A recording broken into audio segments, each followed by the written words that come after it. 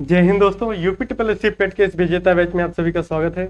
दोस्तों इस समय हम लोग पढ़ रहे हैं प्रॉफिट लॉस एंड डिस्काउंट इसके कुल तीन लेक्चर हो चुके हैं, जिसमें हम लोगों ने प्रॉफिट लॉस के कुल 21 प्रकार के प्रश्नों को देखा है।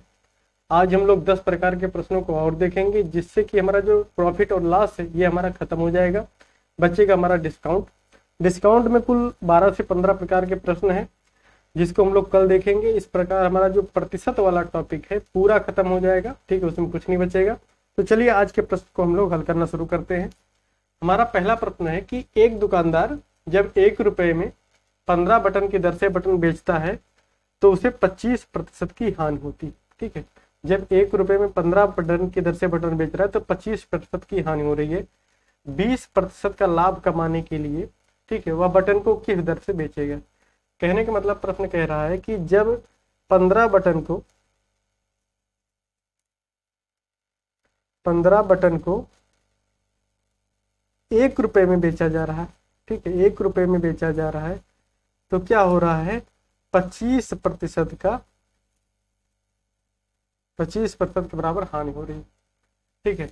अगर पंद्रह बटन का दाम एक रुपया है तो एक बटन का दाम यहाँ से कितना हो जाएगा हमारा? एक बटन का दाम अगर निकालेंगे हो जाएगा हमारा एक बटा पंद्रह रुपये, ठीक। ये जब एक बटन को एक बटा पंद्रह रुपये में बेचा जा रहा है तो पच्चीस प्रतिशत की हानि हो रही है। कहने का मतलब दिया है हमारे प्रश्न में, पचहत्तर प्रतिशत बराबर सौ से पच्चीस घटाएँगे तो आएगा हमारा पचहत्तर पचहत्तर प्रतिशत बराबर एक बटा पंद्रह, ठीक है, रुपया। तो कह रहा है कि 20 प्रतिशत का लाभ प्राप्त करने के लिए बटन को किस दर से बेचा जाएगा?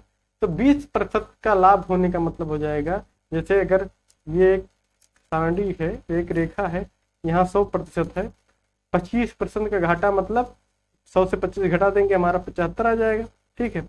इस स्थिति पे क्या बिक रहा है? एक बटन का दाम कितना है? एक बटा पंद्रह रुपया, ठीक? और 20 प्रतिशत का लाभ मतलब 100 में 20 जोड़ देंगे मतलब 120 प्रतिशत। 120 प्रतिशत पर बेचने के लिए हमें कितने रुपए में कितना बटन बेचना है, पूछा जा रहा है, ठीक है? तो पचहत्तर प्रतिशत बराबर हमें पता चल गया, एक बटा पंद्रह रुपया। तो 120 प्रतिशत बराबर क्या हो गया? 120 प्रतिशत बराबर हमारा हो जाएगा, एक बटा पंद्रह गुड़े पचहत्तर। फिर उसके बाद ऊपर में गुड़ा हो जाएगा 120 से। इसको हल करेंगे, पाँच से काटेंगे पाँच जाएगा ये पंद्रह बार, पंद्रह चौका साठ, पच्चीस पचहत्तर, और इसको पाँच से काटेंगे, पाँच दूनी दस जाएगा, पाँच चौके बीस। तीन सौ ये कट जाएगा, तीन पच्चीस पंद्रह हो जाएगा, और तीन आठ चौबीस। कहने का मतलब जब हम आठ रुपए में पंद्रह चौका साठ, पच्चीस पचहत्तर, आठ रुपए में जब हम लोग पचहत्तर बटन बेचेंगे, ठीक है, आठ रुपए में जब हम पचहत्तर बटन बेचेंगे, तब हमें क्या होगा, बीस प्रतिशत का लाभ। ठीक है, ये कल के प्रश्न की तरह था। उसमें आपका दिया था संतरा, यहाँ क्या दिया है? बटन, ठीक है। एक दुकानदार जब एक रुपए में पंद्रह बटन की दर से बटन बेचता है तो पच्चीस प्रतिशत की क्या होती है? हानि हो जाती है।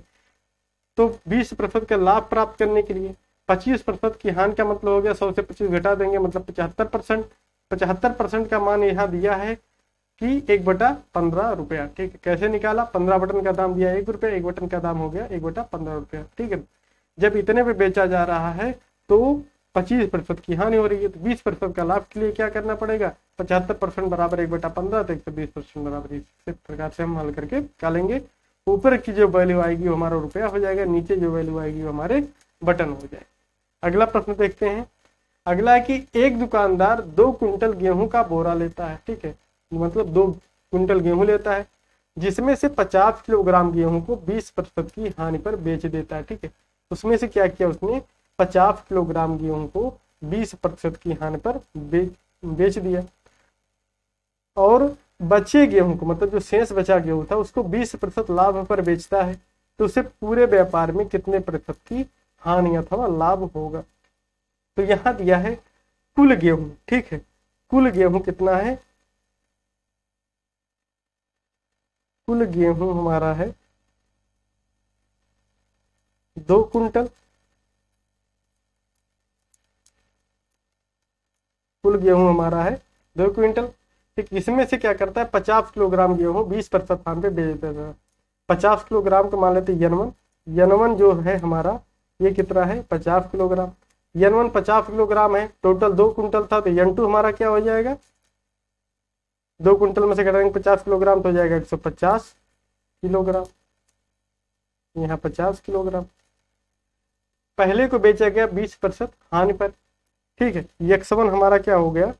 बीस प्रतिशत यक्षवन बराबर हमारा हो जाएगा माइनस का बीस प्रतिशत, क्योंकि हान पे बेचा जा रहा है। यक्स टू हमारा दिया है कि बीस प्रतिशत लाभ पर प्राप्त करने के लिए यक्स टू बराबर हमारा हो जाएगा प्लस का बीस प्रतिशत, ठीक है। इस बीस प्रतिशत का लाभ प्राप्त करने के लिए, नहीं यक्स टू जो बेचा गया हमारा, बीस प्रतिशत लाभ पर बेचा जाता है। तो पूरे व्यापार में कितने प्रतिशत का लाभ अथवा हानि होगा?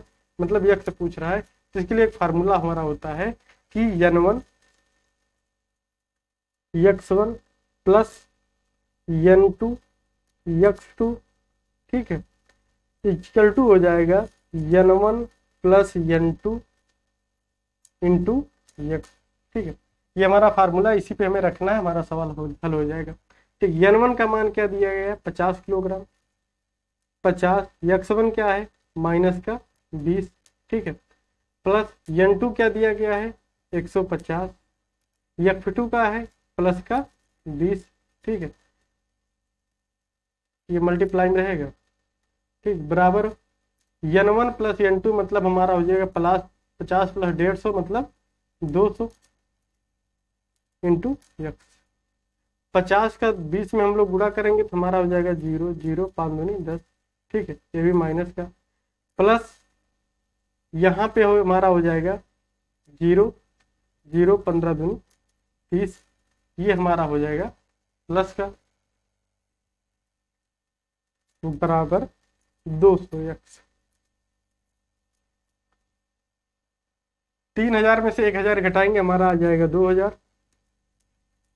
बराबर दो सौ यक्स, दो सौ से दो हज़ार काटेंगे, आ जाएगा हमारा दस प्रतिशत। आ रहा है ये क्या, प्लस का? तो यक्स बराबर हो जाएगा दस प्रतिशत का लाभ होगा, ठीक है? प्रश्न में कहा था, दो कुंटल गेहूँ का बोरा लेता है, जिसमें से वो क्या करता है, पचास किलोग्राम गेहूँ को बीस प्रतिशत की हानि पे बेच देता है। बाकी बचा हुआ गेहूँ जो था, उसको बीस प्रतिशत लाभ पर बेच देता है। पूछ रहा था कि पूरे व्यापार में कितने प्रतिशत का लाभ या हानि होगा। तो इस फार्मूले पर जब हम रखेंगे यन वन एक्स वन ठीक है?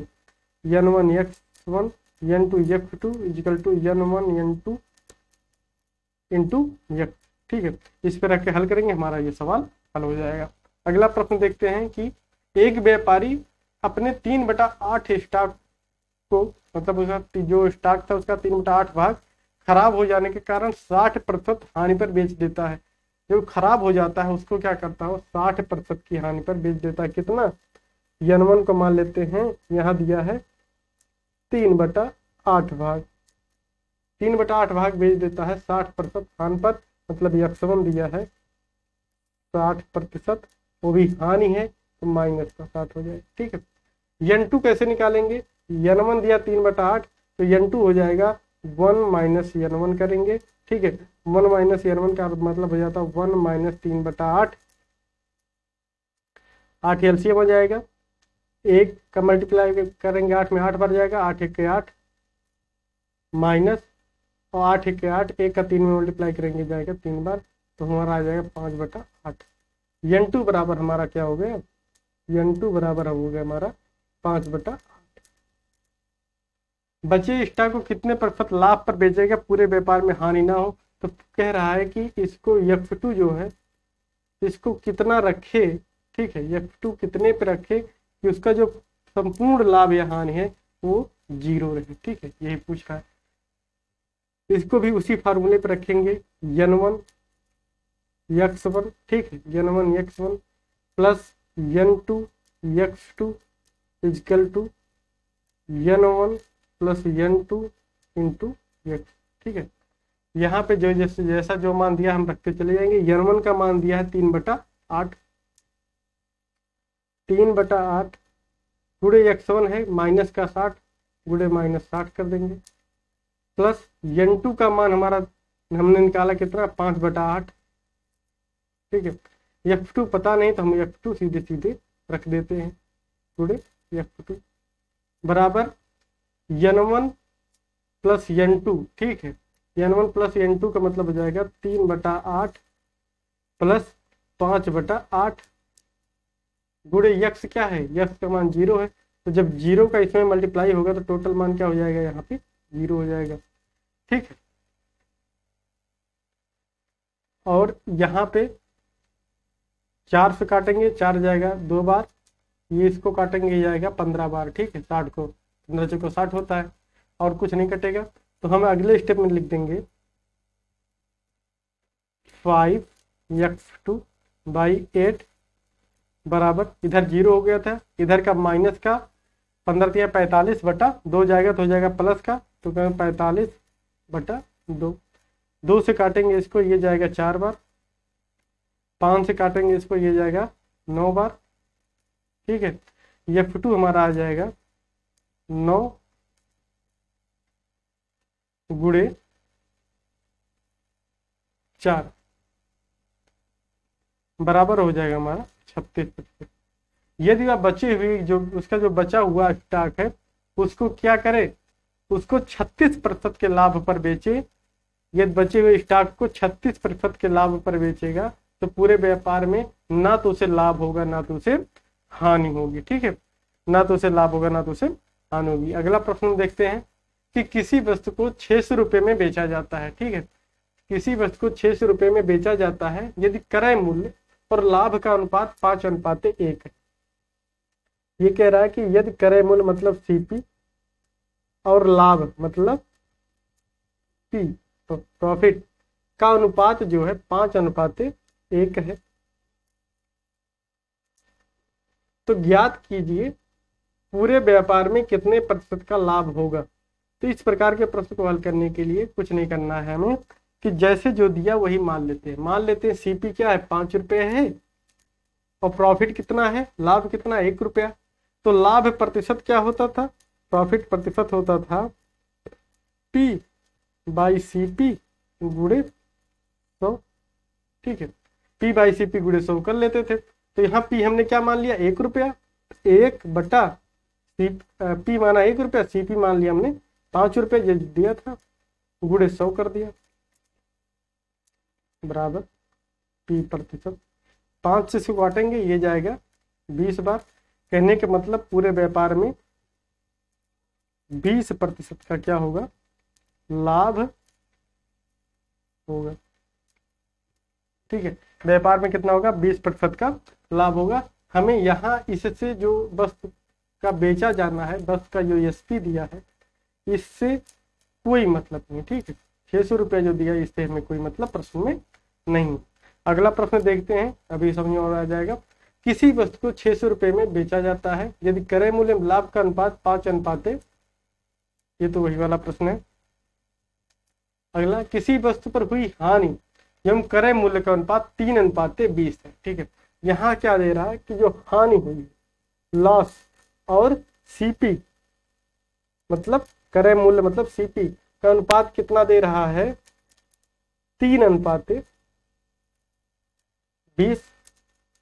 तो वस्तु को पाँच सौ दस रुपए में बेचा जाता है तो व्यापार में कितने प्रतिशत की हानि होती है? तो कुछ नहीं करना है, कितने में वस्तु बेची गई, इससे हमें कोई लेना देना नहीं है। हमें पता चल गया कि उस वस्तु का लॉस और उसका कास्ट प्राइस मतलब हानि और क्रय मूल्य का अनुपात तीन अनुपात बीस है जितना अनुपात दिया है, वही संख्या मान लेते हैं, उसका हानि है, वही संख्या उसका क्रय मूल्य है। तो हानि प्रतिशत बराबर क्या होता था? लास्ट प्रतिशत हम निकालते थे, हानि प्रतिशत बराबर यल बाई सी पी गुड़े सौ। यल का मान तीन सी पी का मान बीस सौ से मल्टीप्लाई कर दिए। बीस से काटेंगे, ये जाएगा कितनी बार? बीस चौक अस्सी, बीस पंचे सौ। पाँच से तीन में मल्टीप्लाई कर देंगे तो ये हमारा हो जाएगा पंद्रह प्रतिशत, ठीक? पंद्रह प्रतिशत का घाटा होगा, ठीक है? तो उस व्यापार में क्या होगा? पंद्रह प्रतिशत का घाटा होगा। अगला प्रश्न देखते हैं, इसी प्रकार का है, अभी और क्लियर होगा। किसी वस्तु के विक्रय मूल्य एवं लाभ का अनुपात, इस बार क्या दिया है? उसका सेलिंग प्राइस एस पी दिया है, ठीक है? और क्या दे दिया? लाभ मतलब प्रॉफिट दे दिया है। इन दोनों का अनुपात दिया है बत्तीस अनुपात सात यदि वस्तु को चार सौ रुपये में खरीदा गया हो, ठीक है, इससे में कोई लेना देना नहीं। चार सौ रुपये में खरीदा गया, चाहे आठ सौ रुपये में खरीदा गया, हमें सेलिंग प्राइस और प्रॉफिट का अनुपात पता चल गया। लेकिन प्रॉफिट प्रतिशत निकालना होगा अगर हमें तो हमें क्या क्या चाहिए? प्रॉफिट चाहिए और क्रय मूल्य सीपी चाहिए। तो फिर उसे सौ से मल्टीप्लाई कर देना। है लेकिन यहाँ सीपी दिया नहीं गया है। तो सेलिंग प्राइस तो दिया है। जितने बेचा गया वो तो दिया है। प्रॉफिट दिया है। जो सेलिंग प्राइस विक्रय मूल्य से हम लाभ घटा देंगे तो हमें क्रय मूल्य पता चल जाएगा। तो एस पी माइनस पी बराबर होता है हमारा सी पी एस पी हमारा कितना है? बत्तीस। प्रॉफिट कितना है? सात। तो सीपी कितना है? बत्तीस से सात जाएगा, हमारा आ जाएगा पच्चीस। अब हमें सीपी भी पता चल गई। प्रॉफिट हमने ऊपर रखा सात। नीचे सीपी रखा हमने कितना? पच्चीस। उसके बाद हमने क्या कर दिया? सौ से मल्टीप्लाई कर दिया। पच्चीस से काटा, ये जाएगा पच्चीस चार बार। और चार का इसमें मल्टीप्लाई किया तो हो जाएगा अट्ठाईस प्रतिशत ठीक है तो पूरे व्यापार में क्या होगा? अट्ठाईस प्रतिशत का लाभ हो जाएगा। ठीक तो इस प्रकार यदि सीपी नहीं दिया गया है एसपी दिया है तो एसपी से हम प्रॉफिट घटा देंगे तो हमारा क्या आ जाएगा? कास्ट प्राइस हमारा आ जाएगा मतलब क्रय मूल्य आ जाएगा और फिर हम प्रॉफिट प्रतिशत निकाल लेंगे। एक प्रश्न और देखते हैं कि किसी वस्तु पर हुई हानि, ठीक है एवं विक्रय मूल्य का अनुपात नौ अनुपात ग्यारह है। यहाँ क्या दे दिया है इस प्रश्न में? हानि मतलब लॉस दिया है, ठीक है। और क्या दिया है? विक्रय मूल्य मतलब एसपी दिया है। इन दोनों का जो अनुपात है, वो दिया है नौ अनुपात ग्यारह। नौ अनुपात ग्यारह है या लाश मतलब हानि और विक्रय मूल्य का अनुपात। तो पूछ रहा है, यदि उस वस्तु का क्रय मूल्य पाँच सौ रुपया हो ठीक है। लेकिन इससे में कुछ लेना देना है नहीं। हमें इससे ही लेना देना है। दोनों का अनुपात हमें पता चल गया। तो पूरे व्यापार में कितने प्रतिशत की हानि होगी? तो पूरे व्यापार में कितने प्रतिशत की हानि मतलब हानि प्रतिशत पूछ रहा है। हानि प्रतिशत के लिए क्या करना होता है? हानि अपान कास्ट प्राइस मतलब क्रय मूल्य गुड़े सौ करना होता है। यहाँ भी क्रय मूल्य नहीं दिया है। लेकिन क्या क्या दिया गया? हानि दिया गया है और सेलिंग प्राइस दी गई। ठीक है, विक्रय मूल्य दिया गया। यदि हानि हुई है तो विक्रय मूल्य में यदि हानि हम जोड़ देंगे तो हमें क्या मिल जाएगा? हमें मिल जाएगा कास्ट प्राइस तो selling price plus profit equal to हो जाएगा cost selling price plus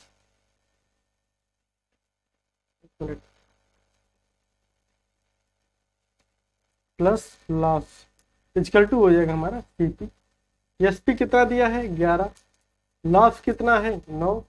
बराबर ही हमारा हो जाएगा सीपी तो सीपी बराबर हमारा क्या हो गया? बीस। अब हमें सीपी भी पता चल गई, सबको रखेंगे। यल का मान है नौ। सीपी का मान हमारा हो गया बीस। सौ से मल्टीप्लाई करना है, सौ से मल्टीप्लाई कर देंगे। बीस काटेंगे, ये जाएगा पाँच बार। पाँच से इसमें मल्टीप्लाई करेंगे इसमें हो जाएगा नौ बचे पैंतालीस प्रतिशत। कहने का मतलब पैंतालीस प्रतिशत का उस व्यापार में क्या हुआ है? हानि हुई है, ठीक है? पैंतालीस प्रतिशत के व्यापार में हानि हुई है। एक प्रश्न और देखते हैं। किसी वस्तु के क्रय मूल्य विक्रय मूल्य का अनुपात बीस, अनुपात सत्ताईस है। यहाँ क्या दे दिया है? सीपी दिया है, ठीक है। क्रय मूल्य सीपी दे दिया गया है और विक्रय मूल्य एस पी दे दिया गया सीपी और एस पी का अनुपात मैं दे दिया है बीस, अनुपात सत्ताईस। यदि वस्तु को बेचने, यदि उस वस्तु को बेचने से तीन सौ पचास रुपए का लाभ हो प्रॉफिट दिया है तीन सौ पचास रुपए का, ठीक? तो ज्ञात कीजिए पूरे व्यापार में कितने प्रतिशत का लाभ होगा, इससे हमें कोई लेना देना नहीं है, ठीक है? ये प्रश्न में केवल हमें कंफ्यूज करने के लिए दिया है। हमें सीपी पता चल गया, ठीक है? प्रतिशत में लाभ पूछ रहा है एसपी पता चल गया है तो हमें क्या निकालना है? प्रॉफिट निकालना है। जब हम विक्रय मूल्य से क्रय मूल्य घटा देंगे तो हमें क्या पता चल जाएगा? प्रॉफिट पता चल जाएगा। प्रॉफिट बराबर होता है हमारा S P minus C P S P दिया है पच्चीस सी पी दिया है बीस, ठीक है। पच्चीस से बीस घटा देंगे, आ जाएगा हमारा पाँच। ये पाँच हमारा क्या है? प्रॉफिट। अब हमें पता चल गया, प्रॉफिट पता चल गया सी पी हमें पहले से पता है। तो प्रॉफिट प्रतिशत निकाल लेंगे प्रॉफिट प्रतिशत बराबर हो जाएगा हमारा। क्या? प्रॉफिट अपान सी पी गुड़े तो प्रॉफिट पाँच, यूनिट का और सीपी है, बीस यूनिट गुड़े, सौ कर देंगे। पाँच से काटेंगे, ये जाएगा कितना बार? पाँच चौक, बीस बार। चार से काटेंगे, ये जाएगा पच्चीस बार। आंसर हमारा हो जाएगा पच्चीस प्रतिशत का लाभ। ठीक है, पूरे व्यापार में क्या होगा? पच्चीस प्रतिशत का लाभ होगा। हमें इस तीन सौ पचास रुपए से कोई लेना देना नहीं एक प्रश्न और हम लोग देखते हैं। किसी वस्तु के विक्रय मूल्य, क्रय मूल्य का अनुपात उन्नीस अनुपात पच्चीस, ठीक है? विक्रय मूल्य और क्रय मूल्य का अनुपात दिया है। विक्रय मूल्य एसपी कितना है? उन्नीस। क्रय मूल्य सीपी कितना है? पच्चीस। ठीक है, इनके दोनों के बीच का अनुपात हमें दिया है। कह रहा है, यदि वस्तु को बारह सौ रुपये में बेचने से हानि होती है, ठीक है, इससे में कोई लेना देना नहीं, क्योंकि हमें दो चीज़ें सेलिंग प्राइस और कास्ट प्राइस हमें अनुपात में मिल गया है। इससे क्या कर लेंगे हम? लॉस कितना हुआ निकाल लेंगे। जब सेलिंग प्राइस मतलब विक्रय मूल्य ज़्यादा होता है कम होता है और क्रय मूल्य ज़्यादा होता है तो हमें हानि होती है। तो यह हानि बराबर हो जाएगा हमारा S P minus C P S P हमारा दिया है कितना? हानि बराबर हो जाएगा सीपी माइनस एस पी क्योंकि सीपी ज़्यादा होता है, जिस समय खरीद मूल्य ज़्यादा हो और विक्रय मूल्य कम हो समय क्या हो जाता है?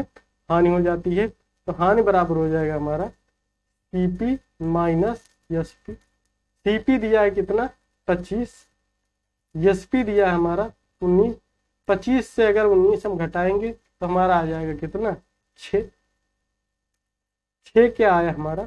छ यूनिट का लास्ट यल बराबर आ जाएगा हमारा छ।